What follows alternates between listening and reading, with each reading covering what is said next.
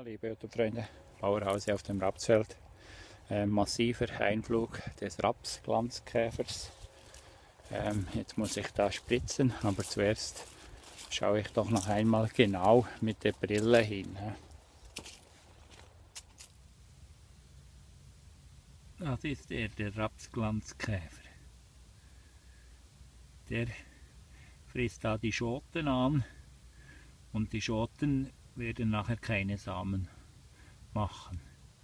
Ja, liebe YouTube-Freunde, nachdem ich da Rücksprache genommen habe mit meinem Pflanzenschutzberater, verzichte ich heute auf äh, Glanzkäferbekämpfung im Raps. Der Einflug war nicht so massiv wie angenommen auf meinem Feld.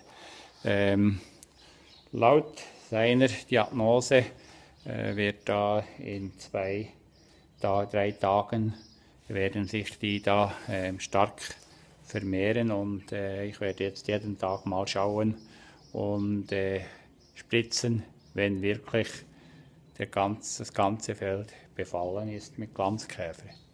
Darum spritze ich jetzt vorgängig, was ich auch noch nicht gemacht habe, den Winterweizen gegen Unkrautspritze. 0,5 ähm, Deziliter Primus die Hektare. Ähm, Primus ist zur Bekämpfung von Klebern und anderen Unkräutern. Primus der Firma Bayer.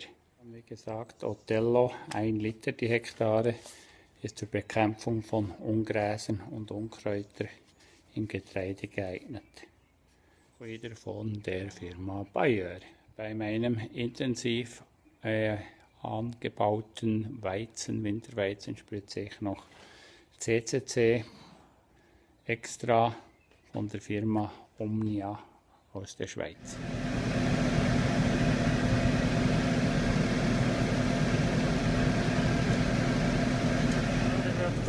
Ich fahre 6 Stundenkilometer, 3 Bar Druck und 300 Liter Wasser die Hektare.